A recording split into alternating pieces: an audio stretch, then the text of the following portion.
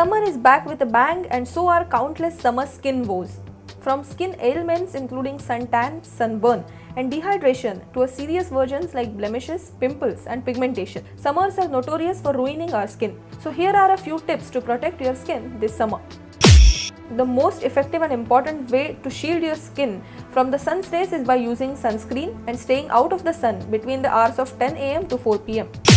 Wear brimmed hats and light colored clothing to cover your arms and legs. Even if you are a sunmonger, wear sunglasses with UV protection when exposed to the sun to help protect your eyes. Drink more water because we sweat to keep cool. Adding more water to your diet will help your body rehydrate and your skin will retain a healthy glow instead of those dried out lizard look that some of us are familiar with. When sunbathing, use the sunscreen particularly on the most sensitive parts of your body such as shoulders, backs of your legs and neck as these areas are most vulnerable. When shopping for makeup, look for a foundation and moisturizer that have sunblock already added in. Always remember to shield your lips from the harsh ultraviolet rays. Don't forget to apply lip balm with SPF 15 regularly. The balm should be used even if you are using a lipstick. The lips would retain their natural softness and color.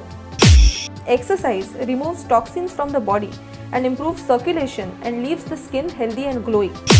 Also, have proper hours of rest and sleep during the night. Lack of sound sleep and insufficient hours of sleep puts dark circles under the eyes and makes the skin dull and listless. Sleep to get a fresh and healthy skin tone. Eat a well balanced diet, drink plenty of water, exercise for at least 40 minutes every day, and get a lustrous and healthy skin even in summer.